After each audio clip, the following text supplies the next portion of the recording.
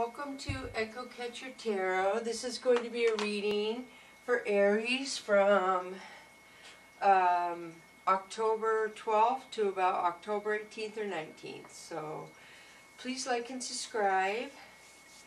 Um, I suggest everybody learn their moon rising and if you have time to learn your Venus rising as well and you can um, go to free sites and learn your birth chart is how you do this. So you have to know the place you were born, the time you were born, and what was it, the time, the place, and the day. And then you look on, it'll, if you punch that into some of these websites or places you can go to to look at that, they will bring up your birth chart for you and it will tell you where all the planets were the day you were born and trines and all of that stuff. And somebody who can read those can tell a lot about your life, major events and such. So, but I would suggest that everybody should know at least their moon and their sun. This is probably your sun, and then you'll get a better reading of your life or your relationship or your partner or whatever. So, welcome, cross watchers. Um, welcome Aries. I hope things are going good. Remember, time is fluid, so when you find this, it's probably meant for you to find this or come across this. Um, the masculine and female energies also can be reversed. This is going to be a love reading for Aries, of course. So one side will be you, one side will be your partner. And you do not have to, um, you can switch one side, you can switch whatever side I say is you to your partner, what side I say is your partner to you. And this, there's no way this can resonate with everybody who's an Aries in the world, so it's only going to go to like the general population. I'm hoping in a little while longer I can do readings myself. But right now I cannot, so I have to get through certain stages for uh, this channel. So, um, here we go. So I'm using the Tales of the Mystical Cats Tarot, and then I'm going to use the Oracle of E card for you and your partner, and then I will use the Angel and Ancestor for you and your partner. Aries. So Aries is one of my top viewers. For some reason, Aries are really into this um, insight to their life compared to other signs, for sure. Okay, so the bottom of the deck we have for you, Aries, is the world. This is good. This is a general reading for the cards. This means you have some dreams coming true. You see the sun in the card. You see the cat looking out the window because dreams are coming your way. Awesome, Aries. The first card we have for you, Aries, wow, is a two of Sea. This is my love card. What a way to start off your reading. This is true love. Two kitties drinking from one cup. True love. The card we have for your partner is the priestess. This is somebody very smart, very grounded, very healing, very spiritual, very clear. Um, yes, this is a good card. Definitely. She's very observant. Um, she's very gentle. So next card we have for you, Aries, is the Sea Queen.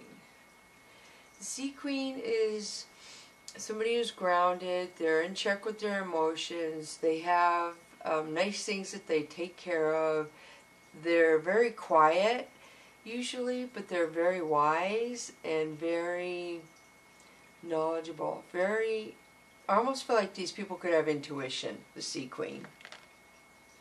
Okay, next card. Oh, I didn't put this one up there. I'm doing it wrong. Put that one up there, and then I'll do this one. Sometimes I like to leave them laid out so I can look at them up and down, across and diagonally, but I know they're easier for you guys to see probably when I do it this way. So, Aries, this is the Ace of Wands, or Ace of Fire. This means there's an ending, and it seems like you're putting your foot down and you're done with something or somebody. You've had enough. We're done here.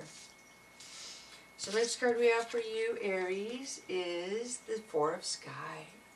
This is somebody healing, retreating from the world, um, and just sleeping and making themselves strong again.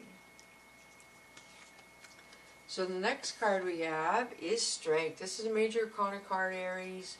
This tells me that you have the strength for whatever is coming in your life right now. You have the strength to pass whatever's going on. So, okay, I'm going to do the past, present, future, and then I'll do um, clarification cards before I do the e the oracle cards. So, the past of your relationship, Aries, is Four of Sea. This is somebody being depressed and not really caring and not putting in any effort because they're in a rut, so to speak, a temporary rut. So, the present of your relationship is Ace of Sea. Aries, this is true love. The emotions are in check Everything is in check. This is very good.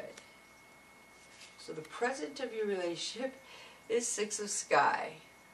This to me means that somebody's going to be fighting around you, Aries. Could be relatives, could be friends, but you are like not going to participate in it. You're, it's their problem, not yours. You don't have time for that.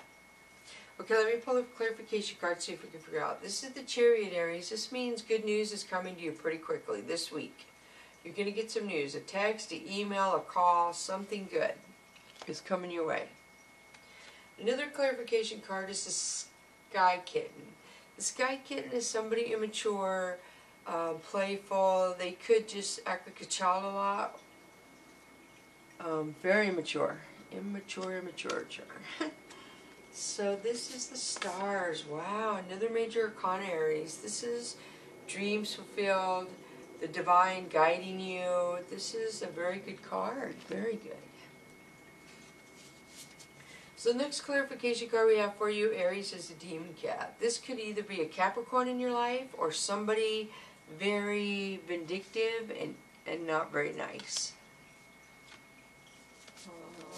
this is the Four Fire. This is my marriage card, Aries. This is somebody getting married. Or it could be you looking to divine your higher power for answers. So there's a couple meanings to a lot of the cards, but that's what I get off those. Oh, Aries. So it looks like this is Major Arcana. This is a Tower card. Tower moments have to happen to bring clarity and bring something better into our life. So it looks like you're going to have, you have so many Major Arcanas, Aries.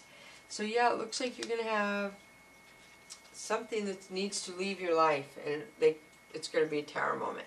This is Ten of Sea. This is my family vacation card. This is a female who is very domesticated with the kids, and she watches them very well, and they're happy with her.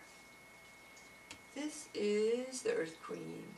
This is somebody who is opinionated, stuck in their ways, usually old, elderly, but not too old. I mean, just older than you, I guess. Well, this can apply to a lot of people. So I'm just saying she's older and she's set in her ways. That's why she's set in her ways. Because her generation was different and this is the way she is. So this is Three of Sky, Aries. This is a couple things. This is my cheater card, or you have a couple mischievous friends around you that aren't good for you being in your life. So the next card we have is the Five of Sea. This means you have done something, Aries, to embarrass yourself to cause a little bit of grief, a little bit of what did I do that for? I'm not very bright, but it's temporary. You'll move through it pretty quickly is what I feel. I know you feel pretty strongly about what happened, but you're going to move through it and you'll move on.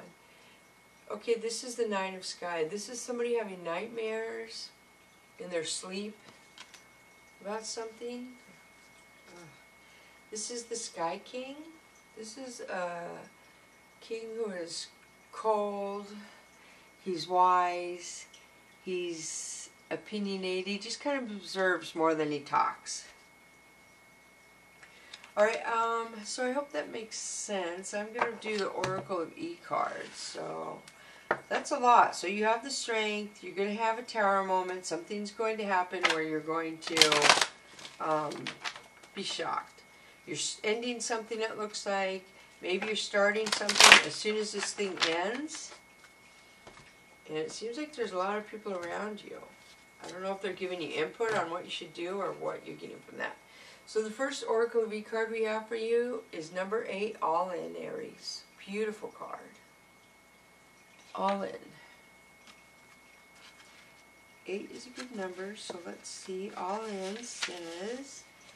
All systems are go. Whatever you do right now, do not hold back. This is the perfect time to give it everything you've got. For every inch you move toward your dream, the universe will move it 10 miles closer. It's time to raise the stakes and play your hand. I'd jump on it if I were you. Next card we have, Aries, is Bazinga. This comes up so much. And that breaks down to 10. So we got 8 and 10 if you break those, well, 8 can't be broke down, but the 19 could be broke down to the number 10. So Bazinga. Well, well, don't you got it going on. Now's the time to revel in the sweet taste of Entabulous You.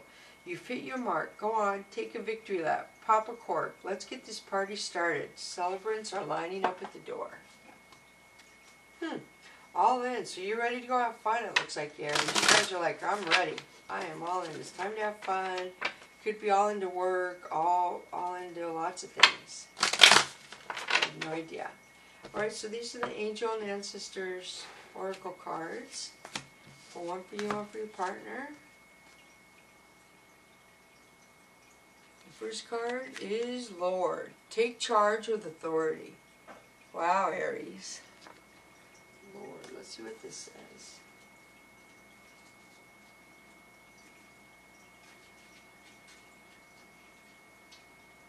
Okay, I'm trying to find it. I, it's not good. Okay, here it is. Don't be afraid to take any change or use your voice. Be strong. The Lord is the consent of the lady. Or no, the Lord is the consort of the lady. The emperor in the ma- traditional tarot.